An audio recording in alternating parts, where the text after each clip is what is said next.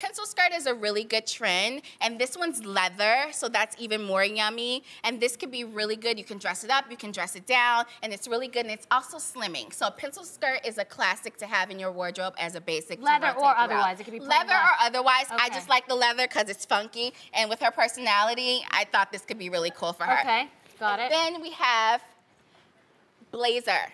Blazers are always key. It's just a refreshing take to have a pop of color. Now, if you're, you know, a little timid with the color, again, you can try it with accessory, you can try it with the nail, try it with lip color like we did with Patricia as well.